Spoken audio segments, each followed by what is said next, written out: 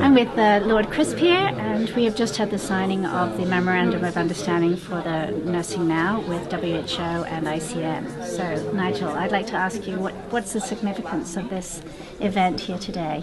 Well, this is extraordinarily significant. We've just had the Director General of the WHO committing uh, to supporting this campaign to improve health by raising the the status and the profile of nurses globally.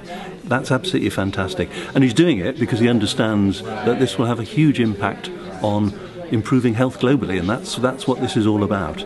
Um, but he has committed himself personally to do whatever he can to support the campaign, and he's also making sure that two things really. One is that his organisation understands the priority he gives to this, so he's asking his regional directors to pay attention to it and his country directors to sort of work with us on this. Um, but he's also said that the World Health Assembly in 2020 will focus very much on nursing. It'll be a great showcase, a great place to celebrate, but also to push forward um, for change. Um, and for improvement. So this is a great day and a, and a, great occasion that's been marked by this signing between the four parties. Great. Thank you okay. very much. Thank you.